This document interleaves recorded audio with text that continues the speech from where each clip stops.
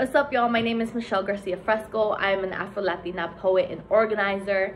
I work with MassLeap as an alumni board member and festival organizer for our annual youth poetry festival known as Wicked Loud. I'm passionate about um, my community, about giving back, about um, helping young people um, tell their stories. Um, I definitely depend on all my friends who are really dope artists and rappers and singers and dancers and overall community members and they really pushed me um, to push myself out of my comfort zone.